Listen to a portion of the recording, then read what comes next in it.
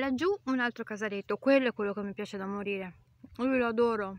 L'ho visto dentro, eh. Dentro ha un caminetto e una stufa economica e degli impicci tenuto malissimo proprio solo per gli attrezzi.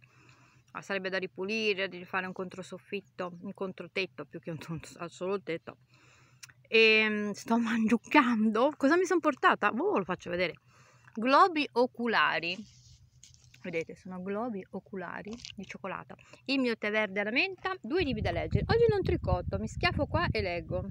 Ho messo ad asciugare il sacchettino dove ho messo la borraccia che non perde ma la condensa eppure all'esterno non sembra caldo. Vi volevo far vedere il Bactus. Vedete questo effetto torsade quindi treccia? È dato dalle diminuzioni e dagli aumenti ehm, così in questo crescendo praticamente diagonale ma neanche diagonale. E poi ve lo farò vedere. E qui c'è l'errore santa pricchia vedete quante poche maglie ho a poca distanza dalla punta? Considerate che io ho cominciato ecco un piffero ho cominciato ora ce lo rimetto eh. aspettate aspettate aspettate. Vediamo un po' se riesco a bloccarlo. Non lo devo toccare allora ho cominciato a questa altezza ehm, il mio cambiamento di punto. Poi vi dico che cosa ho fatto. E, e ho anche cercato di fare um, delle diminuzioni creando un effetto simile a quello ottenuto dove ho fatto gli aumenti. Poi ne parleremo a casa dove potrò posare il triangolo. Questo è un Bactus un Bactus originale perché ha rispettato i termini di aumenti e di diminuzioni, quindi a quella distanza aumento, ogni quattro ferie aumento, poi ogni quattro ferie avrei dovuto fare le diminuzioni e non le ho fatte. ero convinta, eh? convintissima, guardavo, contavo, sì sì sì, marca punto, sposta marca punto, pifero.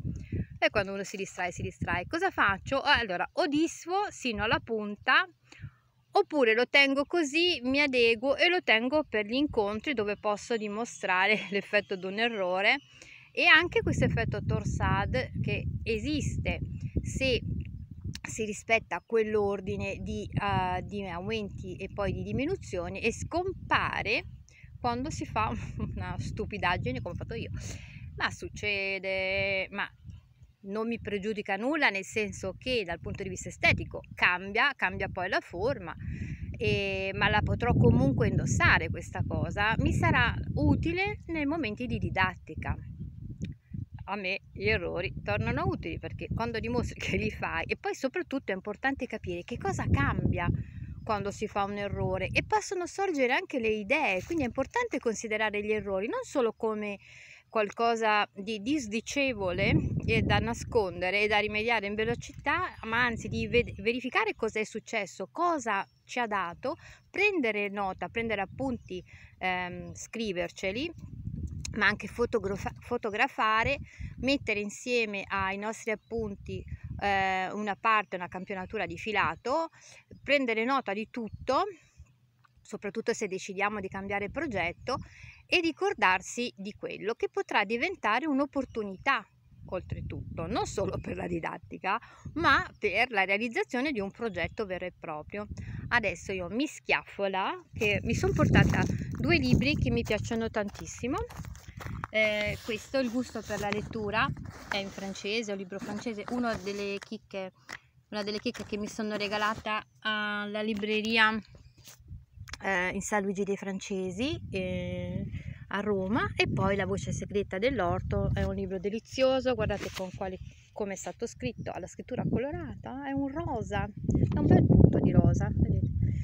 E, e, vado a leggere perché io amo gli ortaggi, è meglio che qua, poi sono in copertina tutti quelli che amo, la zucca non la posso mangiare, la zucca mi è ostile, ma pazienza.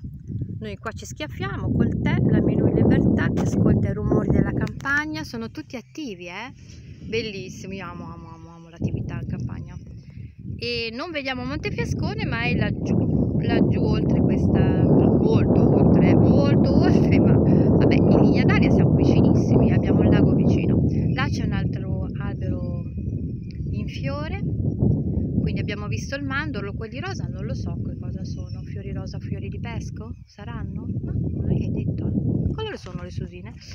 abbiamo ancora le foglie su alcune querce la mia qua non ce l'ha no ha varie rumentine appiccicate ma sembrano quasi dei ricci.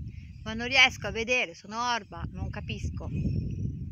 Ora mi siedo eh. la terra è umidissima e morbida l'erba bassa qua, non ci ho mai visto pascolare pecore?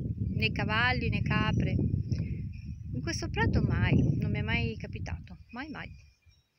Ecco ora mi siedo faccio merenda con la cioccolata adattata perché quella lì è ovviamente un rimasuglio novembrino e il mio buonissimo tè verde. Vado mi schiaffo e leggo. Oggi non tocco ferro solo a casa. Oggi all'aperto leggo. Leggo la voce segreta dell'orto bellissimo. Poi ve lo racconto e è un libro che consiglio, intanto perché è scritto colorato, poi perché è bella la copertina, poi non mi ricordo se me lo sono regalato o se me l'hanno regalato, ma è brutto quando si regala un libro, fate le dediche interne, così almeno rimane la memoria, soprattutto alle disagiate mentali come sono io ormai, la memoria va e viene, mi ricordo, eh, comunque tante cose me le ricordo, non abbiate non crediate, io certe cose me le ricordo, bellissimo.